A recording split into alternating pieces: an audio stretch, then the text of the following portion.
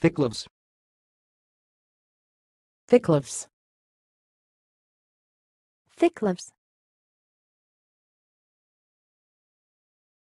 Thanks for watching. Please subscribe to our videos on YouTube.